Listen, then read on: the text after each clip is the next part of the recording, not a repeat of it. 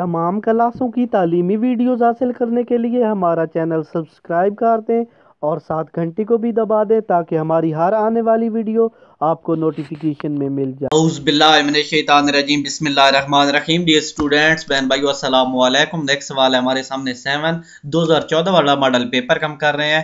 انشاءاللہ ایسا سوال معمولات کے وظائف بیان کریں۔ سماجی معمولات کے وظائف مندرجہ ذیل ہیں۔ پہلا ہے رہنمائی۔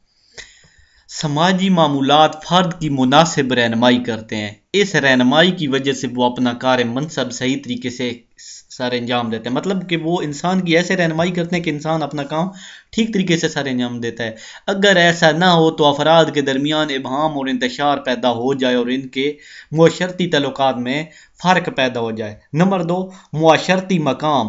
دوسری چیز، سماجی معمولات فرد کو معاشرے میں اس کا مقام دلاتے ہیں۔ ان معمولات کی وجہ سے فرد کو اس کا منصب حاصل ہو جاتا ہے۔ مطلب انسان کو ایسے کام کی طرف راغب کرتے ہیں کہ انسان کو اس کا معاشرتی مقام حاصل ہو جاتا ہے۔ تیسری بات، شخصیت کا تعین معاشرے میں سماجی معمولات کی بنا پر فرد کی شخصیت کا تعین ہوتا ہے۔ ان معمولات کی وجہ سے ہی کسی فرد کے رویہ، رجحانات، عادات عادات اور تخیلات کا پتہ چلتا ہے کہ انسان کی عادتیں کیسی ہیں، اس کا رجحان کس طرف ہے، اس کا طریقہ کار کیا ہے۔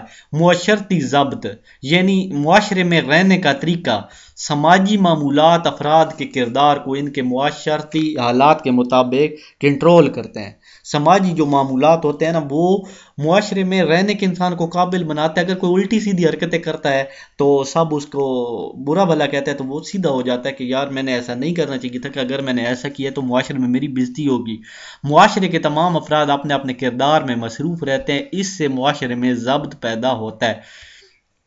پیشن گوئی سماجی معمولات کو جاننے سے ہم کسی گروہ یا معاشرے کے طرز عمل کے بارے میں پیشن گوئی کر سکتے۔ ہیں پیشن گوئی کرنا، اندازہ لگانا، اندازے سے کہنا کہ یہ بات ایسے ہوگی اور تقریباً وہ ایسی ہو بھی۔ مثلا ہمارے معاشرے میں خاون کے فوت ہو جانے سے بیوی بہت زیادہ افسوس کرتی ہے۔ والدہ کو زبردست صدمہ ہوتا ہے۔ اس صورتحال میں ہم کہہ سکتے ہیں کہ اگر کسی کا بیٹا فوت ہو جائے تو اس کی والدہ غم زدہ غم کی وجہ سے بے ہوش ہو جائے گی۔ بالکل، یہ دیکھو پیش گوئی ہو رہی ہے۔ بالکل ٹھیک کہتے ہیں۔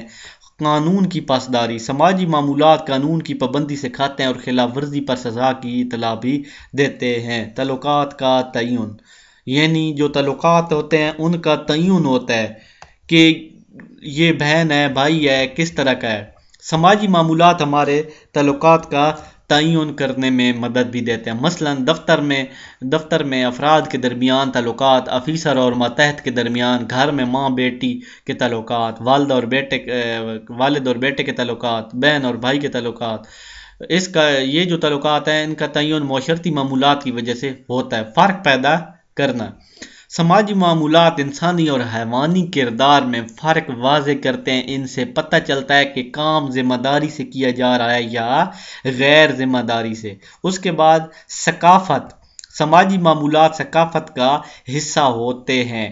ان کے ادا ہونے سے معاشرے کی ثقافت زندہ ہوتی ہے۔ یعنی یہ جو ثقافت ہوتی ہے، یہ بھی سماجی معمولات کے سپارد ہے۔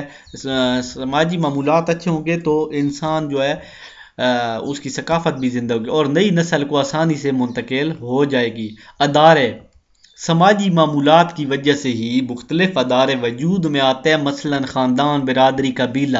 ان اداروں کی وجہ سے معاشرہ قائم ہوتا ہے۔ یعنی معاشرات جو مشرتی معمولات ہوتے ہیں، ادارے اور معاشرہ قائم کرتے ہیں۔ یعنی جو مشرتی معمولات ہوتے ہیں، ان سے کیا ہوتا ہے؟ اب سارے لوگ اکٹھے نماز پڑھتے ہیں، تو اس کا مطلب ہے کہ وہ سارے مسلمان ہیں۔ سارے مسلمان مل کے ایک مسلمان ملک یا ایک مسلمان شہر بھی آباد کر سکتے ہیں۔